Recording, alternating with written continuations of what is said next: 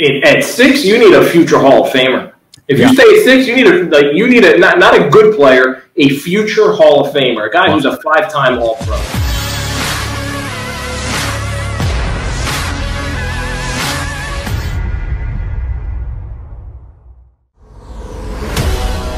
It's overtime. Brief, abbreviated version today, as we'll be back in full force. The show a week from today. John McMullen, Rob Maaddi, Jason Martinez, kind enough to hang out with us. Overtime brought to you, as you see, by the great people at Book It Sports. Go to any marketplace of choice, Google or Apple, and download the Book It Sports app. You can partake in a really cool sports betting community and be a part of what we do each and every Wednesday here with Jeff Parles at 1240 Eastern and more on the app. Even Barrett is up on that app. All right, let me further this conversation for another four minutes and then we'll be out of here on this futures, not futures from a betting standpoint, but what's what's next for the Eagles? What is the next? What is the very next move? We know the Flyers right now have a ridiculous schedule in front of them. They're playing well, so they can make up some ground. the Sixers are exactly what they've been dominant at home outside of a hiccup here or there and terrible on the road and they need to get their sites ready. All-star break will help and then they're back in there. College nova lost to butler so they're off our map. We don't care anymore. What's and phillies it's going to take a little bit for them to ramp up. What's the next move for the philadelphia eagles right now at 134 in the afternoon or 101.34 in the afternoon Shedding salary. keep, Zach dumping, Ertz. keep dumping Zach, yeah, Zach Ertz is the next uh, domino. where's he Which- going Uh, cut him. Chargers have been in the mix. They, they'll probably cut Cut him. him? Yeah, Wait a They second. might cut him. You can't- Really? You can't? You telling me you can't get you can't get a third or fourth round pick? no, no. You might get a late round pick. Wow. Six, just, just so they can control that he doesn't go to the open Yeah, market. That's the only reason. Which is You know, crazy Marcus- that you can't get one for him. That you can't get a, a, a fifth or a sixth round pick for Zach Ertz is No, blows my you- mind. They might get a, a late round pick, a six round conditional pick, something like that, for exactly the reason Jason said. If you don't want to deal with other teams, Yep. Um, but Marcus Mariota, we were talking about uh, because of John Clark. I just looked it up. He's making ten point six million dollars as a backup quarterback. So the Raiders got to move on. Um, And there's no dead money that they don't eat, so they're going to No. release. yeah. Um, same thing with Zach Ertz. Teams realize the Eagles got to move on, Yeah. uh, so they can play that game, little game of chicken. It's amazing. But but, but the, the problem is, is again, if, if they play that game of chicken, then there's 31 other teams.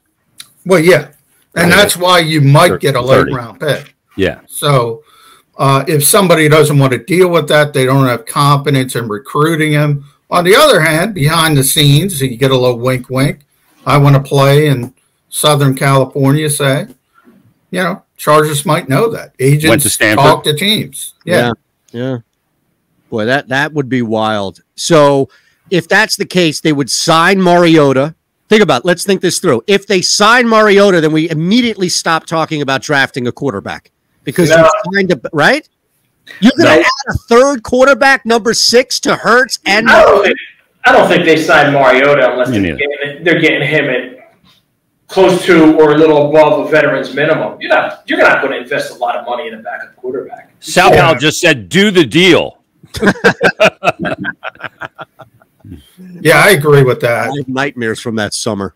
Yeah, you and me both. I, I mean, I, I think quarterback is realistic at six for the Eagles. I mean, Rob knows this team for years that Howie going back to 2016 talked about quarterback, quarterback, quarterback. When you're up that high, you have to take advantage of it at that position. So if they like a guy, they're going to think about it. Okay, you know one thing we haven't talked about is, and just bear with me for about a minute here. And over time, we'll be back some capacity uh, on Tuesday here. But what the the option of drafting a non-quarterback at six, I don't feel like is being discussed nearly at all. It's really just they're going to take a quarterback at six, or they're going to trade back, which is a Howie thing to get more draft picks.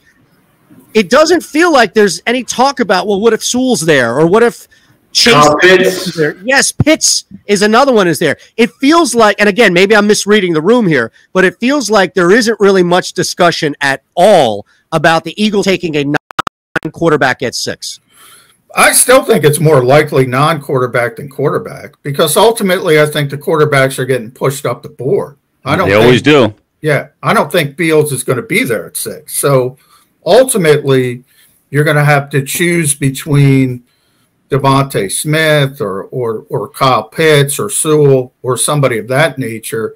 And I think you got to be careful about trading down. That that second tier is probably right at like ten or eleven, so you Yeah. can't go back too far. And, and this is a big draft. They can't miss. Yeah.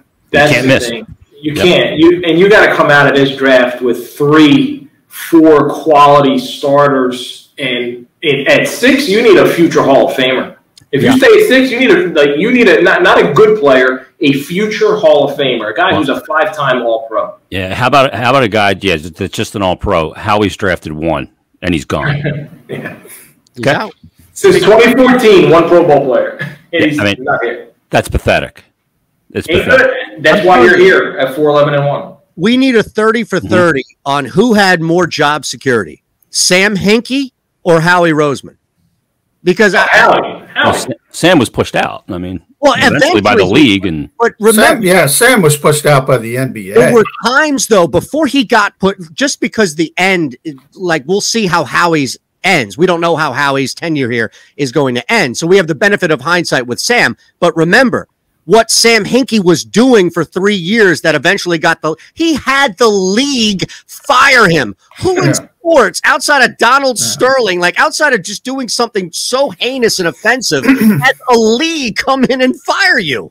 well, they didn't fire. him. He resigned because Well, his come on. power was taken away, and he was By- a mad scientist. Well, yeah, by Adam Silver. who Yeah. basically told Josh Harris, "You do what I say." Well, I'm bringing Colangelo in.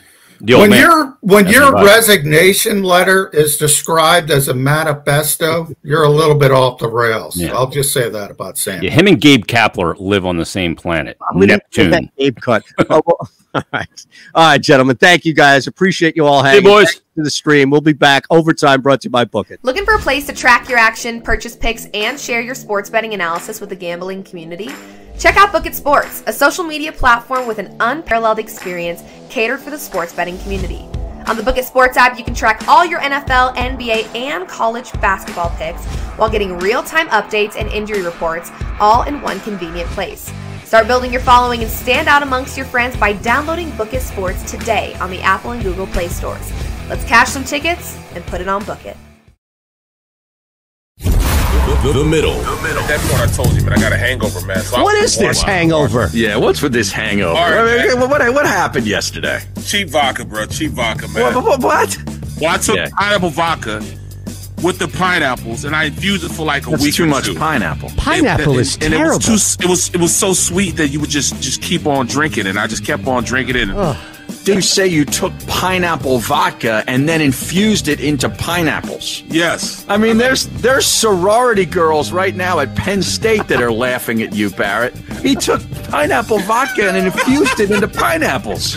Oh I thought it would be a better taste, and it was a better taste. It was a great taste. It just went down too fast. Went down way too fast, Oh, man. my- And next thing you know, man, next thing you know, I'm three shades to the wind, See, watching you got- Queen Latifah. Oh my This God, worse that's the line of the day. Oh. The Middle with Eytan Shander, Barrett Brooks, and Harry Mayes. Weekdays from 11 a.m. to 1 p.m. Eastern.